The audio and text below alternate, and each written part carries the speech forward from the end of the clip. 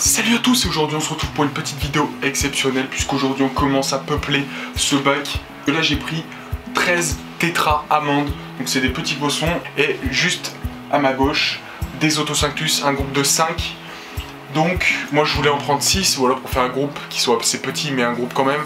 Et euh, le gars euh, de l'animalerie m'a dit que euh, ça faisait pas assez ça faisait pas j'avais pas un assez gros litrage mais, mais voilà déjà je suis parti sur un groupe de 5 et si je vois qu'ils sont vraiment tout le temps cachés qu'ils ont peur tout ça j'en rajouterai un ou deux.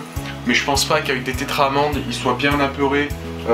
Donc voilà je pense qu'ils vont assez bien prendre leurs aises. Surtout qu'avec les problèmes d'ailes que j'ai eu euh, je pense qu'ils vont bien se régaler avec toutes les petites algues. Donc voilà, c'est vraiment super cool. Ça fait presque un an que j'ai pas eu de poisson depuis mon 200 litres qui avait cette place là. Ici, ça fait longtemps que vous me suivez. Vous vous en souvenez peut-être avec euh, mon banc de, de Tetra Colombiana que j'aimais beaucoup parce que c'était très très beau.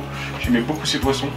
Mais donc voilà, ce bac est vraiment cool. Je pense qu'ils vont surkiffer être dedans. Je vais aussi mettre un fond noir juste après pour qu'on voit mieux les poissons. J'utiliserai ma technique euh, du sac poubelle parce que j'ai été assez con de pas en mettre un dès le début de l'aquarium.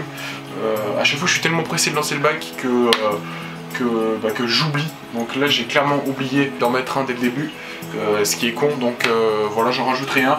Et après je vous ferai des plans de malade quand les poissons seront dans l'eau et quand ils seront bien acclimatés. Pour l'instant ça fait à peu près je pense une dizaine de minutes qu'ils sont en train de, de faire trempette. Donc j'ai dû faire deux boutiques, deux animaleries pour trouver Animalis et Botanique.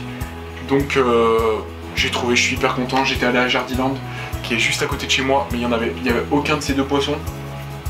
Donc euh, voilà, aujourd'hui, euh, j'en ai profité pour aller acheter mes poissons. Et je suis vraiment hyper content parce que c'est des poissons que je trouve magnifiques. Donc euh, je suis content.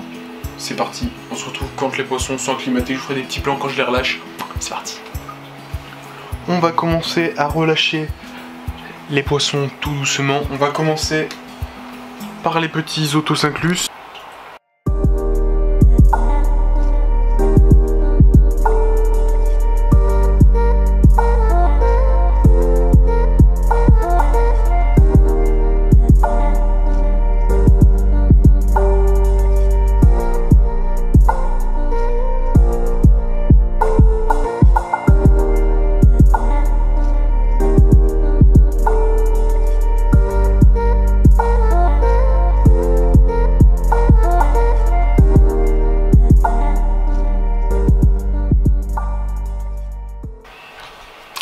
Voilà, avec quoi je m'éclaire.